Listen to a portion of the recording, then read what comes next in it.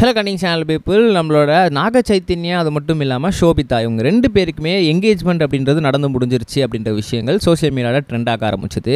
என்னப்பா இது சமந்தாவை டிவோர்ஸ் பண்ணிட்டு ஷோபிதாவை போய் என்கேஜ்மெண்ட் பண்ணிட்டீங்களேப்பா அப்படின்னு சொல்லி நிறைய பேர் வருத்தம் தெரிவிச்சிட்டு இருந்தாங்க. திடீர்னு பார்த்தீங்கன்னா நம்மள பிரபல ஜோதிடர் ஒருத்தர் யூடியூப்பில் நிறைய விஷயங்களை வந்து கணிச்சு முன்கூட்டியே வந்து வந்து அறிவுரை அப்படின்றத பண்ணிட்டு இருந்தார்.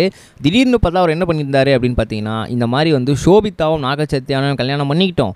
ஒரு பிரச்சனையுமே கிடையாது. ஆனால் ரெண்டாயிரத்தி இருபத்தி ஏழு வரைக்கும் தான் ஒன்றா இருப்பாங்க. அதுக்கப்புறம் அவங்க வந்து பிரிஞ்சிருவாங்க. யாரால் அப்படின்னு பார்த்தீங்கன்னா ஒரு பெண்ணால் அந்த பெண் வந்து கூடிய சீக்கிரமாக நம்ம நாகச்சத்தியனியாவை மறுபடியும் கல்யாணம் பண்ணிப்பாங்க அப்படின்ற மாதிரியும் சொல்லிட்டாங்க ஸோ இவங்களுக்கு நாகச்சத்தியனியாவுக்கு வேற ஒரு பெண் கூட வந்து சம்திங் வந்து ஒரு விஷயம் ஏற்படும். அதனால் மட்டுமே வந்து சோபிதா கூடயே வந்து அவங்க வந்து பிரிவார்.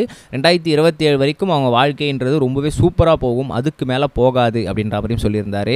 என்னப்பா இதெல்லாம் நம்புற மாதிரியாப்பா இருக்குன்னு கேட்டால் எஸ் அஃப்கோர்ஸ் ஏன்? அப்படின்னு பார்த்தீங்கன்னா ஆல்ரெடி வந்து நம்மளோட சமந்தா அது மட்டும் இல்லாமல் நாகசைத்தன்யா இவங்க ரெண்டு பேரும் கல்யாணம் பண்ணிக்கும் போதே இந்த ஜோதிடர் தான் என்ன பண்ணார் அப்படின்னா வித்தின் ஒன் இயர்லேயே ரெண்டு பேரும் பிரிஞ்சிருவாங்க அப்படின்னு சொல்லியிருந்தாரு. அதுக்கு ஏற்ற மாரி ரெண்டு பேரும் பிரிஞ்சுட்டாங்க.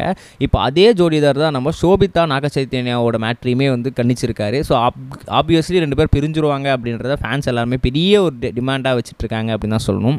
அது மட்டும் இல்லாமல் அவர் சொல்கிற காரணம் என்ன அப்படின்னு பார்த்தீங்கன்னா செவ்வாய் தோஷங்கள் அது மட்டும் இல்லாமல் நிறைய சனி தோஷங்கள்லாம் இருக்குது நிறைய கிரகங்களோட பார்வைகளாக இவங்க மேலே இருக்குது ஸோ அதனால் வந்து ஆக்சுவல் ரெண்டு பேரோட ஜாதகமே செட் ஆகலை அப்படின்ற மாதிரியும் சொல்லியிருக்காங்க ரெண்டாவது விஷயம் வந்து எனக்கு நாகச்சைத்தன்யா சமந்தா அப்படின்ற ஒரு ஜாதகத்தை என்கிட்ட கொடுத்து மார்க் போட சொன்னால் நான் ஐம்பது மார்க் போடுவேன். ஆனால் நாகச்சைத்தன்யா சோபிதா அப்படின்னு சொல்லி ஒரு ஜாதகத்தை கொடுத்தா நான் வெறும் பத்து மார்க் தான் போடுவேன். அந்த அளவுக்கு ஜாதகம் ரொம்ப வீக்காக இருக்குது பார்த்துக்கோங்க ஃபேன்ஸ் அப்படின்னு சொல்லி அவர் எல்லாமே ஒரு அட்வைஸை கொடுத்துருக்காரு.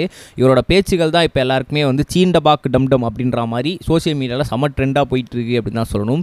என்னப்பா இது? முன்கூட்டியே இப்படிலாம் ப்ரெடிக்ட் பண்ணுறாரு அவங்க ஃபேமிலிக்காவது யாராச்சும் சொல்லுங்கப்பா. திரும்ப திரும்ப மேரேஜ் பண்ணி டிவோர்ஸ் பண்ணுறது எந்த அளவுக்கு சரியாக இருக்கும் அப்படின்னு சொல்லி ஃபேன்ஸ் எல்லாருமே நாக அர்ஜுனா கிட்ட டேக் பண்ணிட்டு இருக்காங்க. ஸோ இதை பற்றி நீங்கள் என்ன நினைக்கிறீங்க அப்படின்றத மறக்காம கமெண்ட் செக்ஷனை பதிவு பண்ணிட்டு போங்க. ரெண்டாவது ஒரு முக்கியமான விஷயம் என்ன அப்படின்னு பார்த்தீங்கன்னா கோல் திரைப்படத்தை பற்றி நம்மளோட வெங்கட் பிரபு சார் சொன்னதாக வந்து ஒரு சில விஷயங்கள் வைரல் ஆகிட்டு இருக்கு முதல் விஷயம் என்ன அப்படின்னு பார்த்தீங்கன்னா நம்மளோட அஜித்குமார் சாருக்கு உடம்பு சரியில்லை அப்படின்ன உடனே வந்து நம்ம வெங்கட் பிரபு அவர்கள் கோட் பட ஷூட்டிங்லேருந்தே அவரை பார்க்க போனதாக வந்து சொல்லியிருக்காங்களாம் விஜய் சார்கிட்ட இந்த மாதிரி நான் வந்து அஜித் சாரை பார்த்துட்டு வர போகிறேன் அப்படின்னு சொல்லும்போது அங்கே போயிட்டு நீங்கள் எல்லாமே பேசி முடிச்சதுக்கப்புறம் ஃபோன் போட்டு எங்கிட்ட கொடுங்க நான் அவர்கிட்ட கொஞ்சம் பேசணும் அப்படின்னு சொல்லி விஜய் சார் சொல்லியிருக்காரு.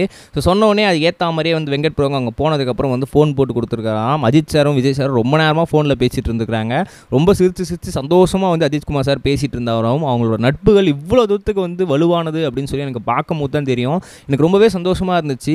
ஒரு எதிரெதி களங்களில் அப்படி இருந்துக்கிட்டு அவங்க வந்து எப்படி இவ்வளோ நட்பாக இருக்காங்கன்றது எனக்கு ரொம்ப சர்ப்ரைஸாக இருந்துச்சு. எனக்கு ரொம்ப சந்தோஷம் அப்படின்னு சொல்லி வெங்கட் பிரபு மென்ஷன் பண்ணியிருக்காரு. நம்ம நெக்ஸ்ட் பேசணும் கைஸ் பை இது வரைக்கும் கனெக்டிங் டிவிக்கு சப்ஸ்கிரைப் பண்ணனா மறக்காமல் சப்ஸ்கிரைப் பண்ணிக்கோங்க. உடனடி அப்டேட்ஸ் பெறுவதற்கு நோட்டிஃபிகேஷன் பெல்லையும் கிளிக் பண்ணிக்கங்க.